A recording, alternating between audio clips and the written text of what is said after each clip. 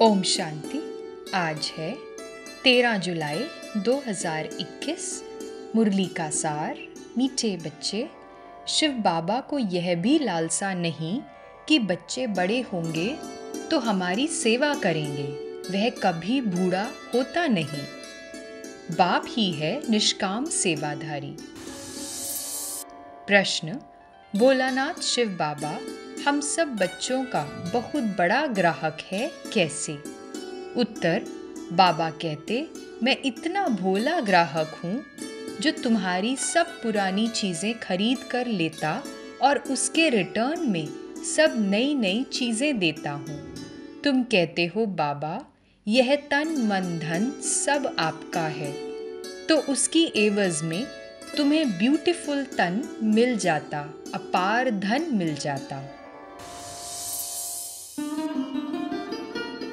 धारणा के लिए मुख्य सार, पहला, माया के तूफानों को भगाने के लिए बाप को बहुत बहुत प्यार से याद करना है।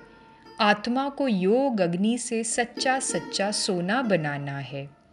दूसरा, बेहद का वैरागी बन, इस पुरानी दुनिया को भूल जाना है। दुनिया बदल रही है, नई दुनिया में जाना है। इसलिए इससे संन्यास ले लेना है।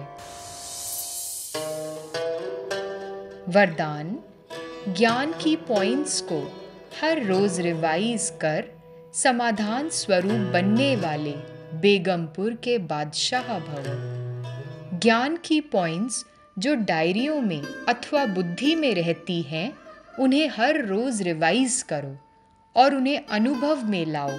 तो किसी भी प्रकार की समस्या का सहज ही समाधान कर सकेंगे। कभी भी व्यर्थ संकल्पों के हैमर से समस्या के पत्थर को तोड़ने में समय नहीं गवाओ।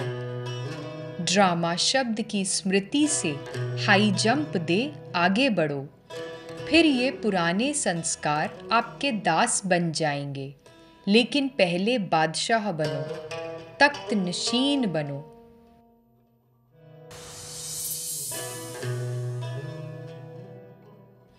स्लोगन हरेक को सम्मान देना ही सम्मान प्राप्त करना है।